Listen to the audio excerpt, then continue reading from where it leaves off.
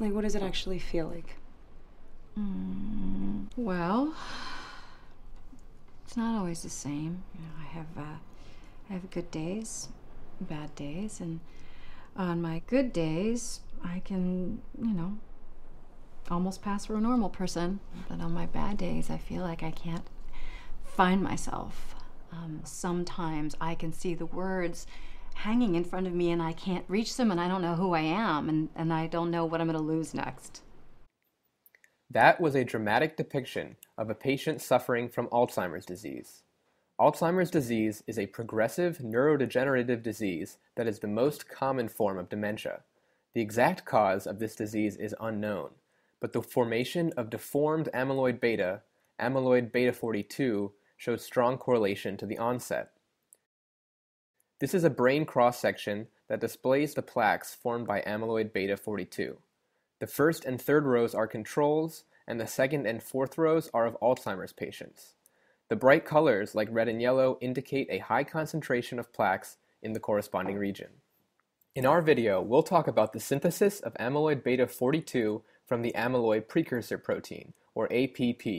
To the left is amyloid beta 42, which is derived from APP on the right. APP undergoes a series of enzymatic cleavage by a class of proteins called secretases, such as gamma secretase and BACE-1 to form amyloid beta 42. Cleavage sites on APP determine the size and the properties of the amyloid beta. The functions of the other forms of amyloid beta are not well understood, but they are necessary in metabolic pathways and cognition. The process of normal cleavage of APP with alpha secretase and the aberrant cleavage with BACE-1 into amyloid beta 42 are seen in this figure. The video will focus on the cleavage process by BACE-1 and at atomic scale. This is a picture of the amyloid precursor protein from before. It consists of three polypeptide domains that extend outside of the cell, one transmembrane domain, and an intracellular domain. The small transmembrane peptide is called the amyloid beta peptide. As part of the full APP protein, it serves as an anchor to the cell. For normal APP function, the intracellular or extracellular domains may be cleaved and released to serve their function.